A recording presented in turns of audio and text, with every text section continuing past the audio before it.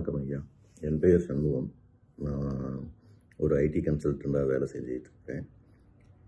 பொதிவுடமூர்த்தி ஐயாவுக்கும் மற்ற குருமார்களுக்கும் நன்றி மற்றும் வணக்கம். நான் இந்த ஏஎல்பி கற்றுக்க வந்தது என்னுடைய நண்பர் மூலமாக எப்பொழுதுமே அவர்கிட்ட நான் ஆலோசனை கேட்பது வழக்கம். அப்போது அவர் ஒரு முறை சொன்னார் நான் இப்போ தான் ஏஎல்பி கிளாஸ் முடிச்சிருக்கிறேன். நீயும் அதை கற்றுக்கலாம் கற்றுக்கிட்டா உனக்கு நிறைய புரிதல்கள் ஏற்படும்னு சொன்னார். அதுக்கப்புறம் கிளாஸுக்கு வந்தேன். கிளாஸ்க்கு வந்ததில் ரெண்டு விஷயங்கள். ஒன்று வந்து நான் ஃபாரின்லேருந்து வந்ததுக்கப்புறம் வந்தேன். குடும்பத்தோடு இருக்கணும்னு சொல்லி. ஆனால் அப்படி இல்லாமல் வெளியூரில் வேலை வாய்ப்பு எதனால் இப்படி இருக்குது அப்படின்னு ரொம்ப நாளாக இது பண்ணிட்டு இருந்தேன். மோரோவர் எப்போவுமே ஃபேமிலியோடு போயிடணும்னு சொல்லி வேலையும் சென்னை பக்கம் தேடிக்கிட்டு இருந்தேன். அப்போ தான் இந்த ஜாதகங்கள் இதெல்லாம் பு புரிய ஆரம்பித்ததுக்கப்புறம் நமக்கு இதுதான் விதிக்கப்பட்டிருக்கு.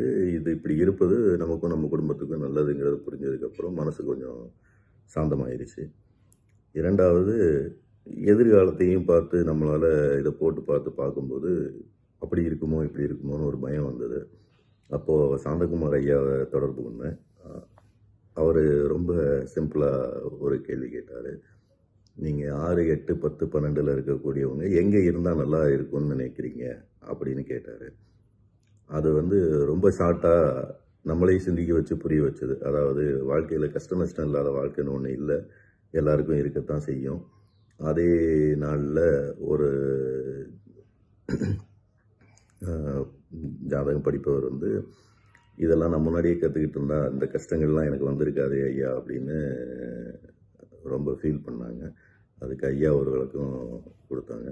இது ஒரு கஷ்டமே இல்லை. இதை விட கஷ்டங்கள் எல்லாமே பெரிய பெரிய கஷ்டங்கள் நிறைய பேருக்கு இருக்குது அவங்கெல்லாம் தான் தேடி வருவாங்க. அப்போ நீங்கள் மன தைரியமாக இருக்கணும். எல்லாமே ஃபேஸ் பண்ணி தான் ஆகணும். அதெல்லாம் ஒன்றும் இல்லை அப்படிங்கிறதையும் இது பண்ணாங்க.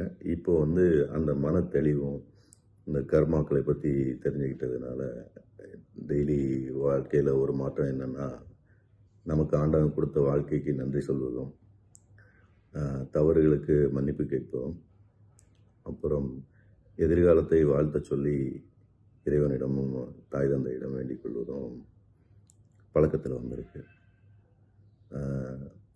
இந்த வகுப்புகளை ரொம்ப முறையாக நடத்தி செல்கிறாங்க தேவையான அளவுக்கு மட்டுமே பேசுதல். அளவுக்கு இல் மீறாமல் சரியான யார் மீதும் கோவப்படாமல் ஆனால் மிக கரெக்டாக கண்டிப்பான சரியான வார்த்தைகளை பயன்படுத்தி வகுப்புகள் நடக்கின்றது. ரொம்ப நன்றிங்க வாழ்க வளமுடன்.